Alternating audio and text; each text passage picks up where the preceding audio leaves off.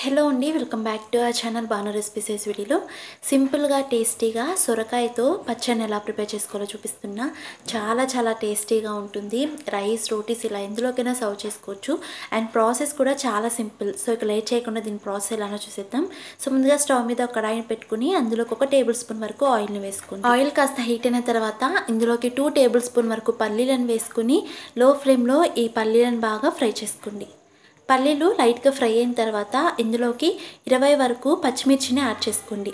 సొరకాయ అనేది కాస్త చప్పగా ఉంటుంది కాబట్టి కారాన్ని కాస్త ఎక్కువగానే యాడ్ చేసుకోవాలి. ఇక్కడైతే నేను ఒక ఇరవై వరకు పచ్చిమిర్చిని యాడ్ చేస్తున్నాను. అలానే ఇందులోకి ఒక టీ స్పూన్ వరకు జీలకర్ర వేసి ఇవన్నీ లో ఫ్లేమ్లో బాగా ఫ్రై చేసుకోండి.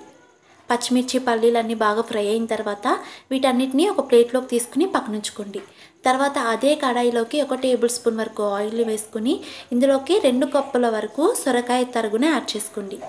సొరకాయ పైన ఉన్న పొట్టును తీసేసి చిన్న చిన్న ముక్కలుగా కట్ చేసుకుని యాడ్ చేసుకోండి. సొరకాయ వేసిన తర్వాత బాగా మిక్స్ చేసుకుని మూత పెట్టేసి లో ఫ్లేమ్లోనే ఒక త్రీ ఫోర్ మినిట్స్ పాటు ఈ సొరకాయని ఆయిల్లో బాగా మగ్గనివ్వండి.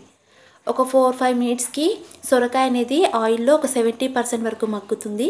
ఇప్పుడు ఇందులోకి మూడు మీడియం సైజ్ టొమాటో తరుగునే యాడ్ చేసుకోవాలి. టొమాటో వేసిన తర్వాత బాగా మిక్స్ చేసుకుంటూ ఫ్రై చేసుకోండి. ఇలా ఫ్రై చేసేటప్పుడు ఇందులోకి ఒక పావు టీ స్పూన్ వరకు పసుపు కూడా వేసి అంతా కలిసేలా మిక్స్ చేసుకున్న తర్వాత మూత పెట్టేసి టొమాటో సాఫ్ట్గా అయ్యే వరకు చేసుకోవాలి.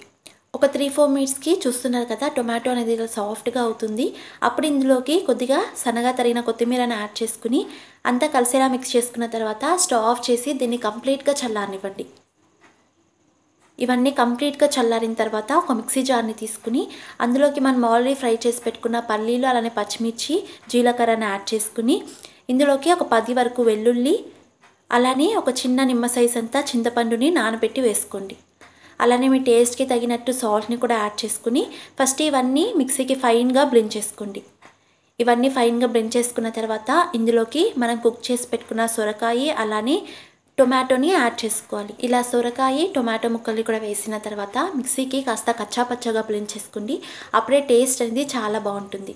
వీడియోలో చూపిస్తున్నట్టు ఈ విధంగా కచ్చా పచ్చగా బ్లెండ్ చేసుకున్న దీన్ని ఒక మిక్సింగ్ బౌల్లోకి ట్రాన్స్ఫర్ చేసుకోండి.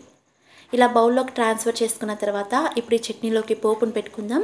స్టవ్ మీద ఒక కడాయిని పెట్టుకుని అందులోకి ఒక టేబుల్ స్పూన్ వరకు ఆయిల్ని వేసుకుని ఆయిల్ కాస్త హీట్ అయిన తర్వాత ఇందులోకి ఒక టీ స్పూన్ వరకు పోపు దినుసులు అంటే ఆవాలు జీలకర్ర మినపప్పు శనగపప్పును కలిపి ఒక టీ స్పూన్ వరకు వేసి ఇవి చిటపటమనిన తర్వాత ఇందులోకి రెండు ఎండుమిర్చి కొద్దిగా కరివేపాకును వేసి ఈ పోపును బాగా ఫ్రై చేసుకోండి.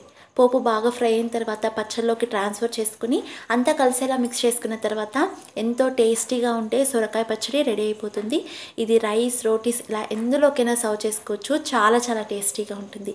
మీరు కూడా ఒకసారి తప్పకుండా ట్రై చేయండి. మీకు కూడా తప్పకుండా నచ్చుతుంది. అలానే వీడియో నచ్చినట్లయితే వీడియోని లైక్ చేసి మరిన్ని టేస్ట్ అండ్ హెల్తీ రెసిపీస్ కోసం మన ఛానల్ని సబ్స్క్రైబ్ చేసుకుని పక్కన ఉన్న బెల్లైకన్ కూడా ఇచ్చేయండి సో నేను పోస్ట్ చేసే ప్రతి వీడియోకి మీ నోటిఫికేషన్ వస్తుంది. And thanks for watching